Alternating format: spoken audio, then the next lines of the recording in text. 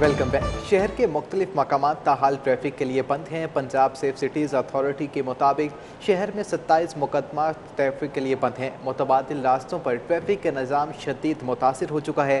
ठोकर, जानब, Chung, police center, Multan road traffic के लिए बंद। बरकी गोल चक्कर, बरकी से भट्टा चौक, अस्करी टेन तक ट्रैफ़िक के लिए बंद है। चूँगे मरसदू, lake city Raiwind road traffic के लिए बंद है।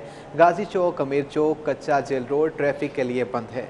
अड्डा क्राउन ईएमई चौक भी ट्रैफ़िक के लिए बंद है। मौलनबाग यतीम खाना चौक स्कीम मोड़ ट्रैफ़िक के लिए बंद है। दरोगावाला जानब न्यासी शहीद रोड, शाहकाम चौक, मिंटपुली बंद है, जबकि करोल घाटी जानब रिंग रोड बत्ती चौक जानब महमूद बूटी भी ट्रैफ़िक के लिए बंद है। शाहरा चौक जानब 25 नंबर स्टॉप ट्रैफ़िक के लिए बंद है। खयाबान चौक, एलडीए चौक भी ट्रैफ़िक के लिए बंद है। इसके साथ साथ जी चौक जाने जानी बनाकली बेगम कोट कोट अब्दुल मालिक भी ट्रैफ़िक के लिए बंद है। शहर लाहौर के अहम मकाम हैं जो कि ट्रैफ़िक के लिए मुकम्मल तौर पर बंद हैं और गाड़ियों की तवील कतारें लग चुकी हैं। शहर के मुख्त मकाम पर ताहाल ट्रैफ़िक जैम है। तफसलात जानेंगे अली साही से। अली साही बताइएगा, क्या सूरत हाल है इस वक्त? जी, बिल्कुल। गुजशत रोज़ शाम के अवकात में जो ट्रैफ़िक जैम की सूरत हाल थी, उस पर अभी तक कंट्रोल नहीं किया जा सका। लाहौर पुलिस की जानब से अब फ्लैग मार्च भी किया गया है और कोशिश की गई है कि शहरियों को एहसास तहफ़ फ्राहम किया जाए, लेकिन अगर सड़कों की, के हालात की बात की जाए तो 20 से जायद मकाम पर अब भी ट्रैफ़िक जो है वो जैम है। सेफ़ सिटीज़ अथॉरिटी की जानब से मॉनिटरिंग की जा रही है और उनकी रिपोर्ट के मुताबिक शहर के ज़्यादातर जो दाखिली व खारजी रास्ते हैं शहर की अहम शहराएँ पिछले तकरीबन कोई 20 घंटे से मुकम्मल तौर पर बंद हैं और आज शाम के अवकात में, चूँकि रमज़ान भी सुबह मतवे है तो शहरियों ने ख़रीदारी के लिए भी निकलना था।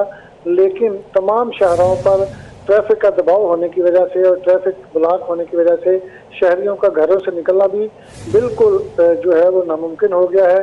जो सिटी ट्रैफ़िक पुलिस है, वो मुकम्मल तौर पर अब तक जो सूरत हाल है, उसको कंट्रोल करने में नाकाम नज़र आ रही है। अलबत् सी सी पी लाहौर की जानब से शहर में फ्लैग मार्च किया गया है और आई जी पंजाब की जानब से भी बार बार डायरेक्शन दी जा रही है कि तमाम जो सड़कें ब्लॉक हैं, उनको हर सूरत में खुलवाया जाए तो चाहे पुलिस फोर्स को अपनी तमाम कुमक यूज़ करनी पड़े पड़े हर सूरत में शहरियों को सहूलत फराम करने के लिए और ट्रैफ़िक की रवानी यकीनी बनाने के लिए तमाम जो शाहराएँ हैं, उनको हर सूरत में खुलवाया जाए ताकि जो ट्रैफ़िक की रवानी है, वो बेहतर हो सके। मोटरवेज के हवाले से बात की जाए तो मतद मकाम पर जीटी रोड और मोटरवेज जो हैं, वो ब्लॉक हैं।